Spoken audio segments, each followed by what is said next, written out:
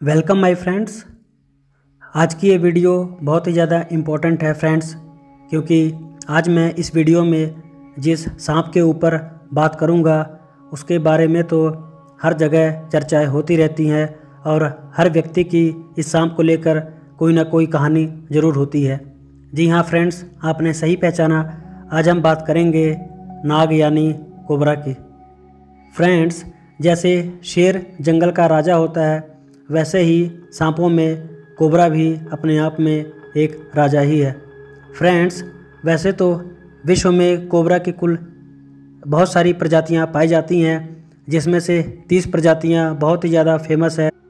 उनके ऊपर भी मैं अलग से वीडियो बना दूँगा, पर फ्रेंड्स, आज की इस वीडियो में हम बात करेंगे अपने भारतीय कोबरा की, यानी इंडियन स्पेक्ट्रल कोबरा की। दोस्तों, आप सबकी जानकारी के लिए मैं बता दूँ कि हमारे भारत देश में भी कोबरा की कुल लगभग पाँच प्रजातियाँ पाई जाती हैं, जिसमें से है इंडियन स्पेक्ट्रल कोबरा जिसको हम अपनी भाषा में नाग कहते हैं, और दूसरा है इंडियन मोनोकोल्ड कोबरा जिसको हम लोग चंद्रनाग कहते हैं। उसके बाद इंडियन एंडमान कोबरा और इंडियन कैस्पियन कोबरा और इंडियन किंग कोबरा तो दोस्तों, ये पाँच प्रजातियाँ कुल कोबरा की हमारे देश में पाई जाती हैं, और आज इस वीडियो में हम लोग मुख्य तौर पर बात करेंगे इंडियन स्पेक्ट्रल कोबरा जिसको हम लोग हिंदी में नाग कहते हैं। इंडियन मोनोकोल्ड कोबरा और किंग कोबरा के ऊपर भी दोस्तों मैं अलग से वीडियो बनाऊँगा। तो चलिए फ्रेंड्स आज हम बात कर लेते हैं अपने इंडियन स्पेक्ट्रल कोबरा यानी नाग की। तो दोस्तों, इस नाग को एशियन कोबरा या बाइनोसलेट कोबरा भी कहते हैं। हमारे देश में जो चार सबसे ज़्यादा जहरीले सांप हैं, उनको बिग फोर फैमिली कहा जाता है फ्रेंड्स उसमें जो चार सांप हैं, वो हैं कोबरा क्रैत रसल वाइपर और सौ स्केल्ड वाइपर। तो चलिए दोस्तों, कोबरा के ऊपर चर्चा आगे बढ़ाते हैं।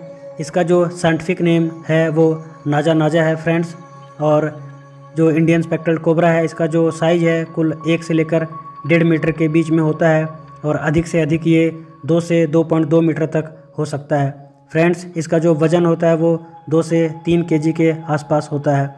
अगर बात करें इस सांप के कलर की, यानी ये दिखने में कैसा होता है? तो फ्रेंड्स इसका जो स्किन कलर होता है वो ग्रे ब्राउन रेडिश ब्लैक और येलो कलर में मिलता है। इसकी जो बॉडी होती है वो सिलेंड्रिकल होती है और आँखें जो होती है वो राउंड यानी गोलाकार होती है, पूंछ पतली होती है और इसकी जो बॉडी होती है वो स्लिपरी होती है। यानी अगर कोई इसको हाथ में पकड़ ले तो यह सांप फिसल के हाथ से नीचे गिर जाएगा। चलिए फ्रेंड्स अब बात कर लेते हैं इस सांप के डिस्ट्रीब्यूशन यानी जो हमारा इंडियन स्पेक्ट्रल कोबरा है, यानी नाग, वो कहाँ कहाँ पाया जाता है। तो दोस्तों, सबसे ज़्यादा तो ये हमारे देश भारत में ही पाया जाता है और इसके अतिरिक्त ये पाकिस्तान, श्रीलंका, बांग्लादेश और नेपाल में भी पाया जाता है। चलिए आप बात कर लेते हैं, ये सांप क्या क्या खाता है। तो फ्रेंड्स हमको पता ही है कि कोबरा भी कार्निवोर्स है, यानी ये मांसाहारी है। तो ये अपने भोजन में मुख्यतः चूहों को, छिपकली, मेढक पक्षी और बाकी छोटे छोटे सांपों को खाता है। अगर बात करें कोबरा स्नेक के प्रजनन की तो जो फीमेल कोबरा होती है, वो लगभग 10 से 30 अंडे एक बार में देती है और ये अंडे वो अप्रैल से लेकर जुलाई महीने के बीच में देती है। उसके बाद अंडों का जो इनक्यूबेशन पीरियड है, यानी अंडों को सेने का जो टोटल पीरियड होता है, वो दो से तीन महीने का होता है। उसके बाद अंडों की हैचिंग हो जाती है, जिसमें से जो बच्चे निकलते हैं, उनकी लंबाई 20 से लेकर 30 सेंटीमीटर तक हो सकती है। फ्रेंड्स, बहुत ज़्यादा इम्पोर्टेंट बात बताना चाहता हूँ कि जो कोबरा के बच्चे होते हैं, ये जन्म से ही अपनी माँ के पेट से जहर लेकर निकलते हैं। अगर ये किसी को काट लें तो इंसान की निश्चय ही मौत हो सकती है, अगर उसका सही समय पे इलाज नहीं किया गया तो। फ्रेंड्स, अब बात कर लेते हैं कोबरा के हंटिंग स्टाइल यानी इसके शिकार करने के तरीके को। तो फ्रेंड्स, कोबरा जो होता है, वो दो तरीके से शिकार करता है। पहला, अगर जानवर इसके आसपास घूम रहा हो तो वो जो हलचल करता है, उसकी हलचल को ये अपनी जीभ को हवा में बाहर निकाल कर महसूस कर लेता है। फिर उसकी ओर चला जाता है और उसको अपने मुँह में जकड़ कर उसमें अपना जहर डाल देता है। फिर जब वो जानवर मर जाता है तो उसको ये पूरा का पूरा ही निकल जाता है। दूसरा तरीका ये है दोस्तों, कि ये अपने से दूर मौजूद शिकार की जो स्मेल होती है, उसको ये महसूस करता है अपनी जीभ के सहारे से। तो उसकी जो गंध होती है, ठीक उसको डिटेक्ट करते हुए उसी की ओर बढ़ जाता है और उस शिकार को पकड़कर वापस वही अपना जहर भर के उसको मार देता है और उसको निकल जाता है। फ्रेंड्स अब बात कर लेते हैं कोबरा के नेचर बिहेवियर यानी स्वभाव के बारे में। तो दोस्तों विश्व भर में जितने भी सांप पाए जाते हैं, उनमें से केवल कोबरा ही वो सांप है जो हुड बना सकता है यानी फन बना सकता है।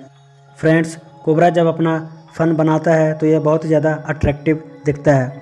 दूसरा पॉइंट ये है कि फ्रेंड्स कोबरा जो होता है वो मीडियम अग्रेसिव नेचर का जीव है, यानी ये बहुत ज़्यादा गुस्से वाला भी नहीं होता और बहुत ज़्यादा शांत भी नहीं होता, ये एक मीडियम अग्रेशन का जीव है। तीसरा पॉइंट ये है फ्रेंड्स कि कोबरा अपने शरीर का एक तिहाई हिस्सा ज़मीन से ऊपर उठा सकता है। जी हाँ दोस्तों, इसके बारे में तो आपने कहीं ना कहीं ज़रूर सुना होगा कि कोबरा जो होता है वो ज़मीन पर बहुत ऊँचा खड़ा हो सकता है। आगे बात करते हैं दोस्तों कोबरा जो स्नेक होते हैं वो स्वभाव से बहुत ज़्यादा इंटेलिजेंट स्नेक होते हैं फ्रेंड्स ये बहुत ही अच्छा स्विमर यानी तैरने में बहुत ही ज़्यादा माहिर होते हैं और ये पेड़ों पर भी चढ़ जाते हैं। पेड़ों पर चढ़कर ये अक्सर पक्षियों के घोंसले में जो अंडे होते हैं उनको ये खा लेते हैं। फ्रेंड्स कोबरा स्नेक जो होते हैं वो डाईयूरनल होते हैं, यानी ये दिन के समय और रात के समय दोनों वक्त शिकार कर सकते हैं। फ्रेंड्स आगे बात कर लेते हैं। कोबरा के वैनम यानी जहर की। तो दोस्तों, हम सबको पता है कि कोबरा बहुत ही ज़्यादा जहरीला सांप है। इसका जहर भी कॉमन क्रैथ की तरह ही न्यूरोटॉक्सिक जहर होता है फ्रेंड्स न्यूरोटॉक्सिक जहर जब यह बॉडी में इंजेक्ट करता है तो व्यक्ति की साँसें फूलने लगती हैं और सांस रुक जाती है, जिसके कारण उसे हार्ट अटैक भी आ सकता है। और उसके साथ साथ ये नर्वस सिस्टम को डैमेज कर देता है, जिससे शरीर के अंग, यानी लीवर, किडनी, अपना काम करना बंद कर देते हैं और सेंसरी फ़ंक्शन भी बंद हो जाते हैं, यानी व्यक्ति को दिखाई पड़ना या सुनना या सूंघना बंद हो जाता है। फ्रेंड्स इसके साथ साथ कोबरा का जहर व्यक्ति को पैरालाइज भी कर सकता है। फ्रेंड्स जब भी सांप काटे, व्यक्ति को तुरंत हॉस्पिटल पहुँचा दे, जिससे उनकी जान बच जाए, झाड़ फूक के चक्कर में ना पड़े। फ्रेंड्स कोबरा वैसे राजा हो सकता है, लेकिन इसके भी बहुत ज़्यादा शत्रु फैले हुए हैं जंगल में। जी हाँ दोस्तों, जिनको हम प्रेडेटर्स कहते हैं, यानी जो कोबरा का ही शिकार कर लेते हैं, उनमें से जो तीन सबसे बड़े शत्रु हैं कोबरा के, वो हैं गरुड़, मोर और नेवला। जी हाँ दोस्तों, सांप और नेवले की लड़ाई के किस्से तो आपने बहुत सुने होंगे। अक्सर नेवला बहुत ज़्यादा कोबरा का शिकार कर लेता है और उसको मार डालता है। इनके अलावा जो दूसरे बड़े पक्षी हैं, जैसे बाज और गिद्ध, वो भी कोबरा का शिकार कर लेते हैं। फ्रेंड्स आगे बात करते हैं, कोबरा के हैबिटेट, यानी कोबरा को कहाँ कहाँ रहना पसंद है। तो फ्रेंड्स, कोबरा जो होते हैं वो क्रॉप फ़ील्ड, यानी एग्रीकल्चर फ़ील्ड, जहाँ फ़सलें होती है, वहाँ रहते हैं। मैदानी इलाकों में भी ये पाए जाते हैं, घास के मैदानों में भी ये रहते हैं, और पर्वतों, पहाड़ों, चट्टानों में भी ये पाए जाते हैं। वेटलैंड एरिया में भी ये सांप अक्सर देखने को मिल जाता है। वेटलैंड मतलब ज़मीन का वो हिस्सा जो पेड़ पौधों और पानी से ढका हो उसको वेटलैंड कहते हैं। वहाँ ये सांप अक्सर देखने को मिल जाता है। दोस्तों, इसके साथ साथ ये जो सांप होते हैं, वो पेड़ के जो तने होते हैं, उनमें जो छेद होते हैं, उसमें भी ये आराम करते हुए पाया जाता है। और अक्सर ये लोग जो अपने अंडे होते हैं, उसको पेड़ की तनों के छेद में या चूहे के बिल में देते हैं। बात करें अगर कोबरा के कुल लाइफ स्पैन यानी जीवन अवधि की तो दोस्तों, कोबरा की जो लाइफ स्पैन होती है, यानी जीवन काल की अवधि, वो 20 से लेकर 25 वर्ष के बीच में होती है। फ्रेंड्स, हमारे देश में जीव जंतुओं की रक्षा के लिए जो कानून बना है, उसको वाइल्ड प्रोटेक्शन एक्ट कहते हैं, जो उन्नीस सौ बहत्तर में बना था। उसमें नागों को, यानी इंडियन स्पेक्ट्रल कोबरा को, संरक्षण यानी प्रोटेक्शन प्रदान किया गया है। आखिर में बात कर लेते हैं नागों के कल्चरल सिग्निफिकेंस की। तो दोस्तों, हमारे समाज में सांपों को पवित्र जीव माना गया है। अक्सर सांपों का देखा जाना बहुत ही शुभ माना जाता है। और हमारे देश में सांपों की पूजा भी होती है, जो नाग पंचमी के दिन की जाती है, और इनके बहुत सारे मंदिर भी बने हुए हैं। फ्रेंड्स, बाकी के जो दो और नाग हैं, जैसे इंडियन मोनोकोल्ड कोबरा, जिसको चंद्रनाग कहते हैं, और किंग कोबरा, जो सांपों का राजा है, उसके ऊपर भी दोस्तों मैं वीडियो बना दूँगा। कृपया इस वीडियो को लाइक कर दें और चैनल को भी शेयर और सब्सक्राइब कर दें, ताकि आने वाली वीडियोस की नोटिफिकेशन आप सब तक पहुँच जाए। फिर मिलूँगा दोस्तों एक नए वीडियो के साथ। तब तक के लिए आगे दीजिए। Bye bye.